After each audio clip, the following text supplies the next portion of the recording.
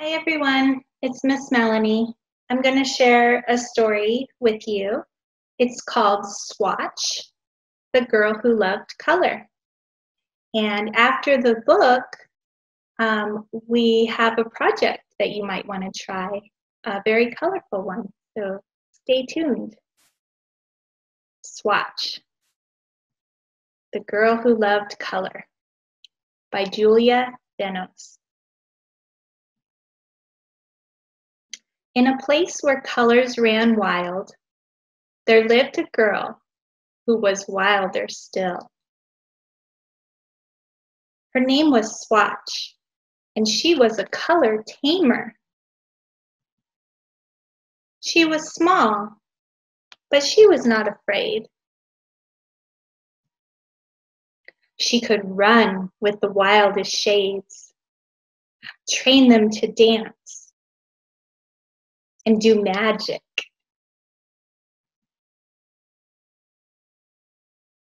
With a little patience, she learned to hunt for the rare ones.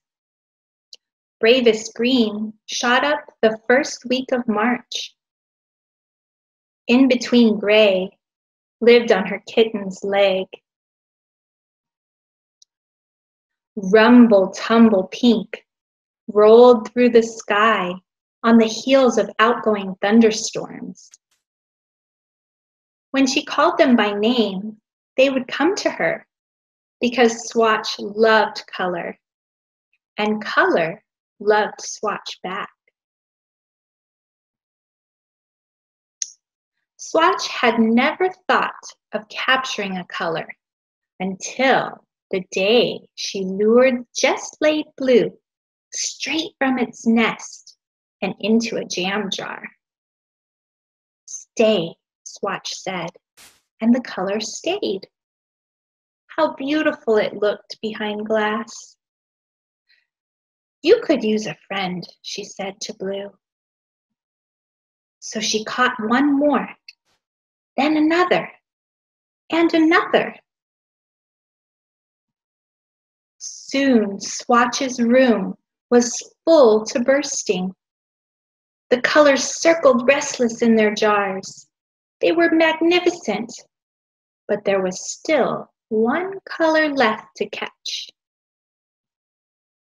Morning came, and there it was, fast fading and fierce, the king of all yellows, blooming in the sidewalk crack in spite of the shadows. Swatch was ready. At last, yellowest yellow would be hers. Suddenly, she heard a small sound. Ahem, said Yellowest Yellow. What are you doing? Swatch had never asked if a color wanted taming. Yellowest Yellow, she asked politely, would you like to climb into this jar? You could sit on a shelf right next to Blue. You could make green together all day long if you wanted. I'll poke holes in the top and I'll feed you dinner. But Yellow, knowing that was no way to live, said, No, thank you. So Swatch could have, could have scooped it up anyway, said, Okay.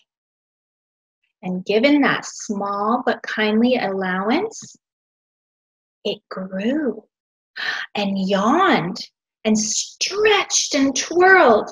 It bloomed and whirled and leaked and swirled, spreading, billowing, twisting, up, up, up. It sprouted ears and pointy teeth. It was as big as a house. Roar! went yellowest yellow. Swatch felt small. Her jar seemed silly. She had forgotten. Colors were wild. So she shut her eyes and prepared to be eaten. Then Swatch heard something, sweet and warbling, like a fleet of canaries. She smelled something warm and buttery, like breakfast. Then something swished against her knee, purring and soft, and just like home. So she opened her eyes.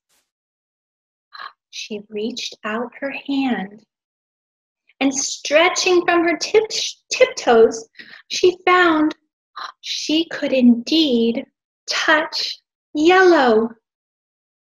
Hold on, Yellow said, and it pulled her up, up, up, high over the rooftops. She called her colors by name, and they came to her.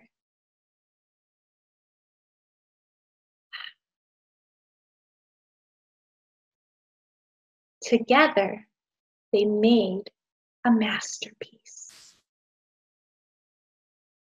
The end. And here's a picture of Julia Denos, the author of this book.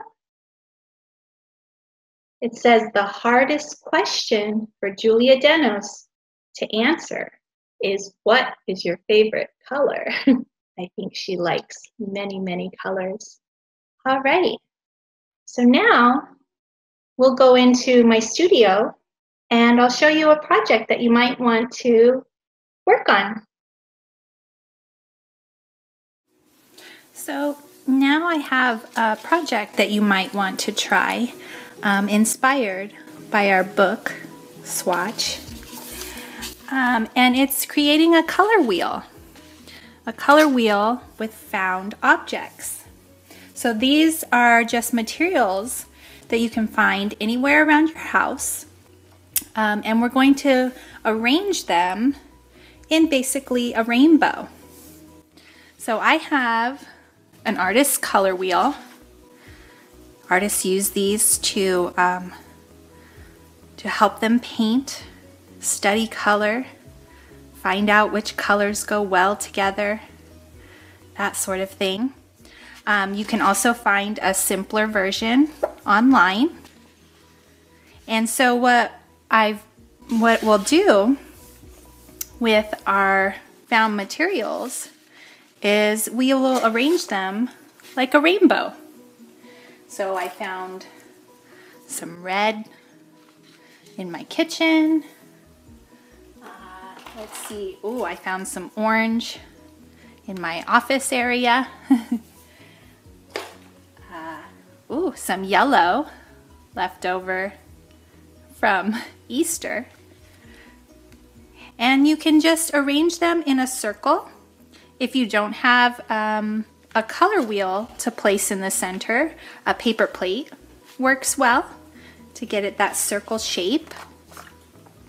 Um, but what we'll do is we'll just arrange them in that order. Here are some other examples of found object color wheels. Lots of different objects.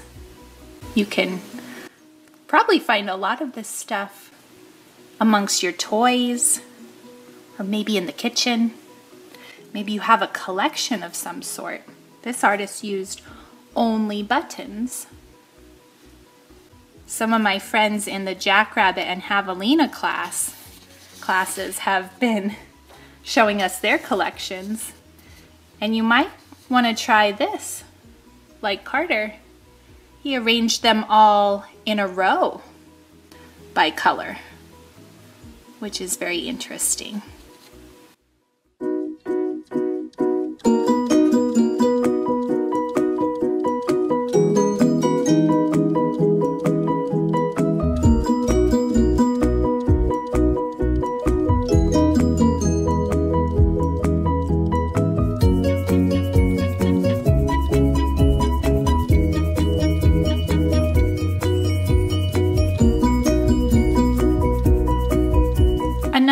You can try this project is by arranging your materials using just your favorite color and doing a value scale, which means the artist just arranged them light to dark. Similar to what you would find maybe on some color chip samples.